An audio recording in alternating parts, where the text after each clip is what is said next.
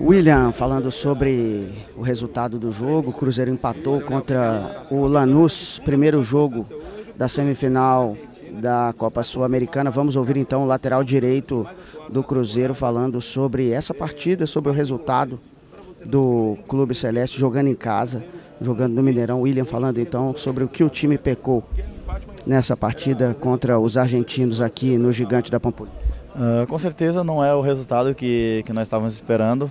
Uh, nós trabalhamos bastante, uh, buscamos melhorar em muitas coisas, mas hoje com certeza não foi, não foi a partida que nós estávamos querendo fazer. nós queríamos um resultado positivo, sabemos que é uma final, não poderíamos dar, dar mole. Acabamos pecando naquilo que a gente sabia que ia ser a dificuldade, que era a bola parada. E, então Uh, como falei, mas é só continu é continuar trabalhando porque foi só o primeiro tempo de uma final. Uh, nosso time tem total condição de chegar lá na, na, Argentina e conseguir um bom resultado e sair de lá classificado. Então é, é continuar trabalhando. Uh, primeiramente é dar parabéns para o nosso, nosso torcedor que fez uma grande festa hoje.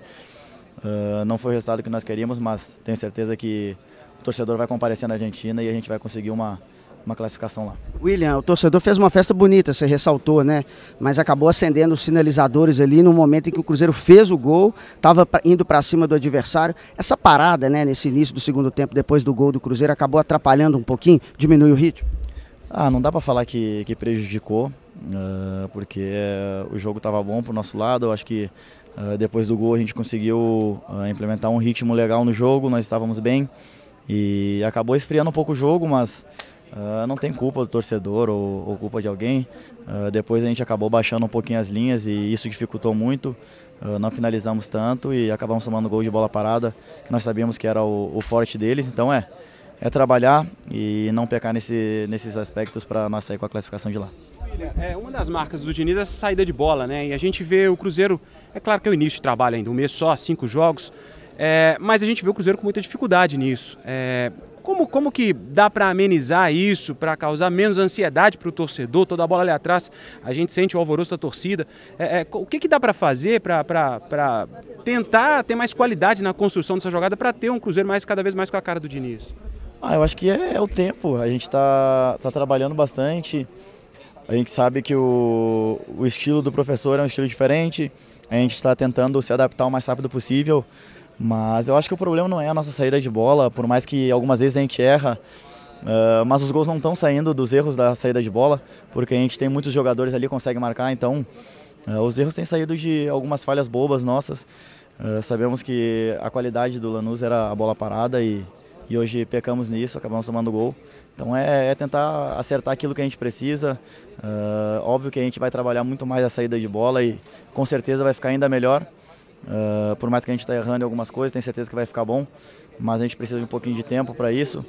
Uh, mas é, é, continuar trabalhando, eu acho que não dá para ficar lamentando muito, porque foi só o primeiro tempo de uma final e como eu falei, tá 0 a 0 e a gente tem total condições de buscar a classificação lá. E agora é o Atlético Paranaense, né, que passa por uma dificuldade enorme, está na zona de rebaixamento. É, fica mais tranquilo, digamos, entre aspas, para o Cruzeiro tentar essa vitória? Ou é mais uma pedreira porque o adversário vai tentar sair da situação de qualquer maneira? Ah, não, não tem jogo fácil no Campeonato Brasileiro.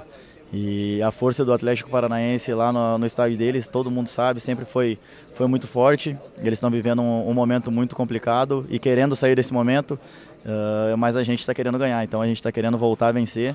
Uh, tenho certeza que vai ser um jogo muito difícil, mas a gente vai fazer de tudo para vencer. O Cruzeiro viveu fases diferentes nesse, nessa temporada, né? Você particularmente, como um dos jogadores que mais atuaram na temporada, sabe bem disso. Como é que você e outros jogadores experientes do elenco têm é, interpretado esse momento do Cruzeiro? É, um, cruzeiro? Um Cruzeiro no momento de queda, sem vencer, mas que precisa ainda, nessa temporada, dar uma resposta. O que, que vocês, jogadores, entre vocês, conversam ali? A necessidade da vitória ou a necessidade de encaixar esse time do Diniz? Cara, a gente sabe que a gente está devendo no Campeonato Brasileiro, a gente começou muito bem, teve muitos resultados positivos e principalmente dentro de casa a gente não deixava escapar nenhum ponto. Uh, ultimamente a gente acabou uh, falhando em alguns jogos, uh, não vencendo e a gente sabe que precisa dar uma resposta positiva no Campeonato Brasileiro e tenho certeza que todos os jogadores têm o mesmo pensamento, que é voltar a vencer e independente da competição, tem que botar o Cruzeiro a brigar lá em cima na tabela.